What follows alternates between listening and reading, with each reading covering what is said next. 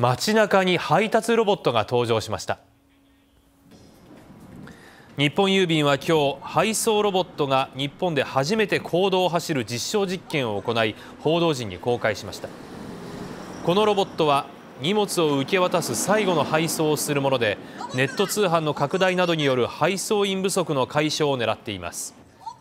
実験ではロボットがセンサーで障害物や信号を認知し安全を確認しながら歩道や横断歩道およそ700メートルを自動走行しました。